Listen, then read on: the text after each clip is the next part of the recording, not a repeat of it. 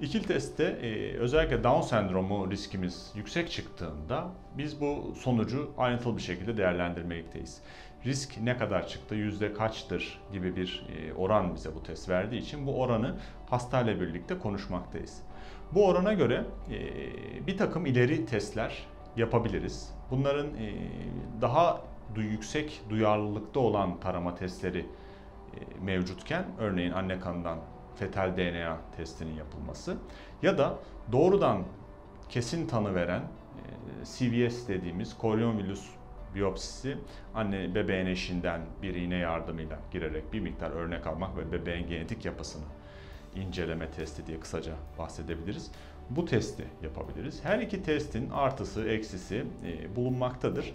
Dolayısıyla hastalar bize geldiğinde bunların hepsini detaylı olarak konuşmaktayız.